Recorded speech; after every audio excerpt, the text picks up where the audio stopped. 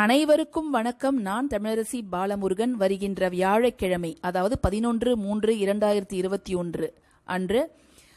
வருகின்ற சிவராத்திரியை நாம் எவ்வாறு வழிபட வேண்டும் அன்றைய நாள் நாம் என்னென்ன செய்ய வேண்டும் எவற்றையெல்லாம் தவிர்க்க வேண்டும் அப்படிங்கிறது தான் இந்த பதிவில் நம்ம பார்க்க போகிறோம் நமச்சிவாய வாழ்க நாதன் தாழ் வாழ்க இமைப்பொழுதும் என் நெஞ்சில் நீங்காதான் தாழ் வாழ்க ஏகன் அநேகன் இறைவனடி வாழ்க வேகங் கெடுத்தாண்ட வேந்தனடி வெல்க அவனருளாலே அவன் தாள் வணங்கி அப்படிங்கிற இந்த சிவபுராணம் பாடலில் வர மாதிரி சிவனோட அருள் இருந்தால் மட்டுமே நாம் சிவபெருமானை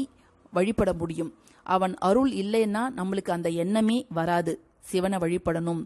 ஈசனுடைய பரிபூர்ண அருள் நமக்கு கிடைக்கணும் அப்படிங்கிற ஒரு எண்ணம் வராது ஈசனுடைய அருள் பெற்று நம்மளுடைய குடும்பம் மேலும் மேலும் வளர இந்த மகா சிவராத்திரி என்று நாம் சிவபெருமானை வழிபட தவறக்கூடாது மாதந்தோறும் வர கிருஷ்ணபட்ச சுக்லபட்ச சதுர்த்தி தினங்களில் வரக்கூடியதுதான் நித்திய சிவராத்திரி தை மாதத்தில் கிருஷ்ணபட்ச சதுர்த்தியில் வருவது பச்ச சிவராத்திரி மாதந்தோறும் வருவது மாத சிவராத்திரி சோமவரத்தன்று பகல் இரவு இருப்பொழுதுகளிலும் அமாவாசையாக இருந்தால் அது யோக சிவராத்திரி ஆண்டுதோறும் வரும் மாசி மாத கிருஷ்ணபட்ச சிவராத்திரி தான் மகா சிவராத்திரி ஏன் மற்ற சிவராத்திரிகளை விட இந்த மாசி மாதம் வருகின்ற சிவராத்திரியை நம்ம மகா சிவராத்திரி அப்படின்னு அழைக்கிறோம் பார்த்தா அன்றைய தினம் இந்த பிரபஞ்சமே இந்த பஞ்சபூதங்கள் இருக்குது இல்லையா அது எல்லாமே செயலற்று இருக்கும் அந்த நேரத்தில் ஈசனுடைய சக்தி மட்டுமே இந்த பிரபஞ்சத்தில் மேலோங்கி இருக்கும் அந்த சக்தியை நாம் மனிதர்கள் ஒவ்வொருவரும் உள்வாங்கிக் கொண்டு அவர்களுடைய பக்தி மார்க்கத்தை மேம்படுத்தி கொள்வதற்காக தான் இந்த சிவராத்திரி அவ்வளவு சிறப்புமிக்கது என்று நாம் சொல்கிறோம் சிவபெருமானை நாம் எவ்வாறு வணங்க வேண்டும் அதாவது நாள்தோறும் சிவபெருமானை அர்ச்சிக்கக்கூடிய மலர்களும் இருக்கின்றது அவருக்கு நம்ம அர்ச்சனை செய்ய பூக்களும் இலைகளும் இருக்கின்றன நம்ம நெய்வேத்தியமாக வச்சு படைக்கக்கூடிய பிரசாதங்களும் வெவ்வேறு பிரசாதங்கள் இருக்கின்றன அதை பற்றி கொஞ்சம் சுருக்கமாக பார்க்கலாம் ஞாயிற்றுக்கிழமை என்று நாம் மலர் செந்தாமரை மலர் இலை வில்வ இலை நெய்வேத்தியம் என்னன்னு பார்த்தோம்னா பாயாசம் திங்கள் கிழமையன்று நாம் அர்ச்சிக்க வேண்டிய மலர் என்னன்னு பார்த்தோம்னா வெள்ளை நிறத்தில் உரிய உரிய மலர்கள் அதாவது மல்லிகை மலர்கள் கூட நம்ம வந்து பூஜை செய்யலாம் இலை வந்து அரளி இலை நெய்வேதியம் வந்து வெண்பொங்கல் செவ்வாய்க்கிழமை மலர் செங்கழு நீர் இலை விழா இலை நெய்வேத்தியம் எல்லன்னம் புதன்கிழமை நாம் அர்ச்சிக்க வேண்டிய மலர் தாமரை இலை மாதுளை நெய்வேதியம் சர்க்கரை பொங்கல் வியாழனன்று நாம் அர்ச்சிக்க வேண்டிய மலர் குவளை இலை நாயுருவி நெய்வேதியம் தயிர் சாதம் வெள்ளிக்கிழமையன்று நாம் அர்ச்சிக்க பூஜிக்க தகுந்த மலர் வெண் தாமரை இலை நாவல் இலை நெய்வேத்தியம் சுத்தாண்ணம் சனிக்கிழமையன்று நாம் பூஜை செய்ய பயன்படுத்தக்கூடிய மலர் நீலோர் பழம் இலை விஷ்ணு கிராந்தி நெய்வேத்தியம் உளுந்தன்னம் ஆக இப்படியாக நாம் ஒவ்வொரு நாளும் சிவபெருமானுக்கு நம்மளால முடிந்த பூக்களையும் இலைகளையும் நம் அருகில் இருக்கக்கூடிய கோவில்களில் கூட நம்ம போய் கொடுக்கலாம் ஏன்னா அங்கே வந்து அதை பூஜை செய்ய பயன்படுத்தி கொள்வாங்க இல்லை இப்படியெல்லாம் என்கிட்ட எதுவுமே இல்லை நான் வந்து இந்த மாதிரிலாம் நான் டெய்லி என்னால் பண்ண முடியாது அப்படின்னாலும் ஒன்றுமே பிரச்சனை கிடையாது நீங்கள் சிவராத்திரி அன்று அருகே இருக்கக்கூடிய சிவன் கோயிலுக்கு சென்று ஏன்னா ஒவ்வொரு காலத்துக்கும் ஒவ்வொரு நான்கு கால பூஜை நடக்கும் அன்று அந்த நான்கு கால பூஜையில் உங்களால் முடிந்த நேரத்தை ஒதுக்கி கோவிலுக்கு சென்று அங்கே போயிட்டு நீங்கள் உங்களுக்கு மனமாற இறைவனை பிரார்த்திக்கும் போது உங்களுடைய வேண்டுதல்கள் அனைத்தும் நிறைவேற்றப்படும் அதுக்கப்புறம் இப்போ சிவபெருமானுக்கு பிடித்த பொருள்கள் அப்படின்னு சிலது இருக்குது அவருக்கு நம்ம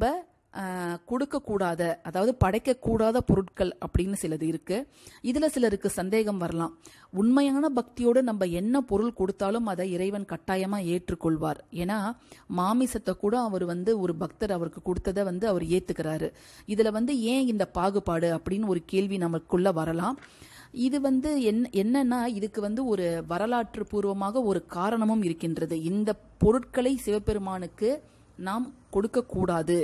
அப்படி கொடுத்தால் அவருடைய கடும் கோபத்திற்கு நாம் ஆளோ ஆளாக நேரிடும் அதனால் இதை வந்து நம்ம தவிர்த்திடுறது நல்லது அப்படின்னும் ஒரு கதையே இருக்குது இப்போ பிடித்த பொருட்கள் என்னென்ன சிவபெருமானுக்கு பிடித்த பொருட்கள்லாம் என்னென்ன அப்படின்னு நம்ம பார்த்தா முதல்ல வந்து சுத்தமான பால் அதாவது எந்தவித ரசாயன பொருளும் கலக்காத சுத்தமான பால் அவருக்கு அபிஷேகம் செய்வது மிக மிக நல்லது உங்களால் முடிஞ்சா வருகிற வியாழக்கிழமை சிவராத்திரி என்று நீங்கள் பால் போயிட்டு பக்கத்தில் இருக்கிற சிவாலயங்களுக்கு கொடுக்கறது ரொம்ப நல்லது அடுத்தது அரைத்த சந்தனம் அரைத்த சந்தனத்தை கொடுக்கறதும் ரொம்ப ரொம்ப நல்லது ஏன்னா சிவன் வந்து கோபமாக இருக்கும்போது அவரை சாந்தப்படுத்துறதுக்காக இந்த பொருட்கள் எல்லாம் அவரை குளிர்விக்கிறதுக்காக இந்த பொருட்கள் எல்லாம் பயன்படுத்துகிறாங்க ஆகவே அரைத்த சந்தனமும் அவருக்கு நம்ம கொடுக்கறது நல்லது அடுத்து விபூதி ஏன்னா விபூதி தான் அவரோ அவருடைய அலங்கரிக்கிறதுல முக்கியமான அலங்கார பொருட்களில் முக்கியமான ஒரு பொருள் வந்து விபூதி தான் அடுத்து நாம் கொடுக்க வேண்டியது தயிர் தயிரும் வந்து அவருக்கு மிகவும் பிடித்தமான ஒரு பொருள் அடுத்தது பார்த்தோன்னா நெய் அடுத்தது வாழைப்பழங்கள் அதுவும் வந்து அவருக்கு பிடித்தமான ஒரு படையல் பொருளாகவே கருதப்படுது அடுத்தது வில்வ இலை வில்வ இலையில சிவபெருமானுக்கு மிக மிகவும் பிடித்த இலையாக வில்வ இலை வந்து கருதப்படுது ஏன்னா நிறைய பழங்கு பழமையான கோயில்களில் வில்வ மரம் வந்து சில கோயில்களில் தல விருட்சமாகவும் இருக்கிறது அதுலேயும் இந்த திரிசூலம் வடிவத்திலான மூன்று இலைகளை கொண்ட வில்வ இலைகளால் சிவபெருமானை அர்ச்சிப்பது என்பது பெரும் நன்மைகளை நமக்கு பெற்றுத்தரும் அடுத்து நம்ம சொல்ல போகிறது பஞ்சாமிர்தம் அதாவது பஞ்சாமிர்தம் வந்து சிவபெருமானுக்கு நம்ம வந்து படையல் பொருளாக கொடுக்கும்போது அவரை அவர் வந்து அவருடைய அருளை நம்மளுக்கு பரிபூர்ணமாக தருவாங்க பஞ்சாமிர்தம் எதையெல்லாம் சேர்த்து செய்கிறோம் அப்படின்னு பார்த்தா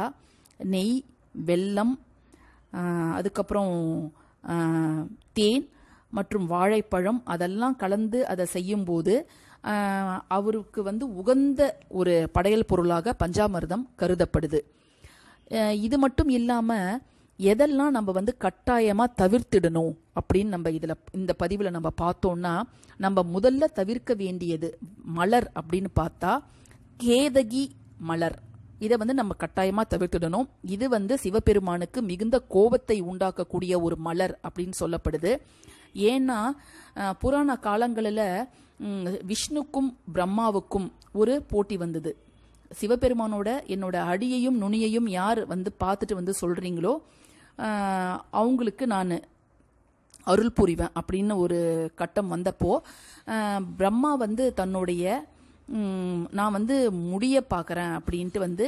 மேலே போனார் விஷ்ணு வந்து த உங்களுடைய அடியை நான் கண்டுபிடிக்கிறேன்னு கீழே போனார் ஆனால் அவரால் கண்டுபிடிக்க முடியல தன்னுடைய தோல்வியை ஒப்புக்கொண்டார் விஷ்ணு ஆனால் பிரம்மா வந்து என்ன சொன்னாருன்னா நான் வந்து உங்களுடைய நுனியை வந்து கா பார்த்துட்டேன் அதில் வந்து இந்த பூ இருந்துச்சு அப்படின்னு சொல்லி அந்த பூவையும் பொய் சாட்சி சொல்ல சொன்னார் அப்படி அவர் பொய் சாட்சி சொல்ல சொன்ன பூ வந்து கேதகி மலர் அதாவது நம்ம மிகுந்த வாசனை உள்ள தாழம்பூ அப்படின்னு சொல்வோம் இல்லையா அந்த மலர் ஆகவே அந்த மலரை வந்து பொய் சாட்சி சொல்ல சொன்னதால சிவன் வந்து கடும் கோபத்துக்கு ஆளானார் ஆகவே பிரம்மாவுக்கு எங்கேயும் உனக்கு வந்து கோவிலே இருக்காது அப்படின்னு வந்து சாபமிட்டுட்டார் என்னுடைய வழிபாட்டுக்கு இந்த கேதகி மலர் பயன்படுத்தக்கூடாது அப்படின்னு அவர் சொல்லி சொல்லிட்டாரு அதனால அந்த மலரை நம்ம அறவே தவிர்த்துடணும் அடுத்து வந்து துளசி இலைகள் துளசி இலைகளும் வந்து சிவபெருமானுக்கு உகந்தது கிடையாது இதுக்கு பின்னாடியும் ஒரு பெரிய கதையே இருக்கு ஏன்னா இது ஜலந்தர் அப்படிங்கிற ஒரு அரக்கனை வந்து விஷ்ணு கொன்றதன் மூலமாக துளசிக்கும் சிவபெருமானுக்கும் ஒரு சமயம் வந்து மனக்கசப்பு ஏற்பட்டு உங்களுடைய பூஜையில நாம் இட நான் இடம்பெற மாட்டேன் அப்படிங்கிற மாதிரி துளசி தேவி சொல்லிட்டதால சிவபெருமானோட பூஜையில துளசி இடம் பெறக்கூடாது அப்படிங்கிறது தான் ஐதீகமாக கருதப்படுது ஆகவே நம்ம துளசி இலைகளையும் தவிர்த்திடுறது நல்லது மூன்றாவதாக நாம் தவிர்க்க வேண்டியது இளநீர் தேங்காயை வந்து உடைக்கலாமே தவிர பெரு சிவபெருமானுக்கு அந்த நீரை கீழே விட்டு ஊற்றிட்டு தான் வெறும் தேங்காயை மட்டும்தான் வச்சு படைப்பாங்க தேங்காய் தண்ணியை வந்து நம்ம சிவபெருமானுக்கு ஒரு நைவேத்தியமாக வச்சு எந்த படையலும் செய்வது முறையல்ல இதை தவிர்த்து என்ன சொல்கிறாங்க அப்படின்னு பார்த்தா இது வந்து இரண்டு சாரார் இரண்டு விதமாக சொல்கிறாங்க இந்த மஞ்சள் குங்குமம் மற்றும் இந்த துளசி அதெல்லாம் வந்து காரத்தன்மை அதாவது அதிகமான உஷ்ணத்தன்மையை உருவாக்கக்கூடியது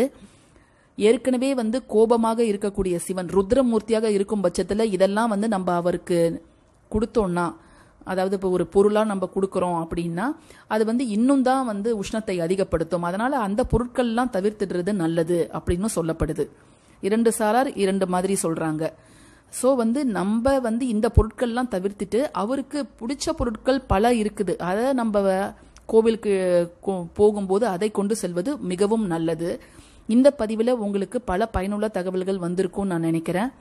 இந்த பதிவு உங்களுக்கு பிடிச்சிருந்ததுன்னா கட்டாயமாக லைக் பண்ணுங்க ஷேர் பண்ணுங்க நம்ம சேனலுக்கு சப்ஸ்கிரைப் பண்ணுங்க வருகின்ற சிவராத்திரி அன்று நீங்களும் அருகே உள்ள சிவாலயங்களுக்கு சென்று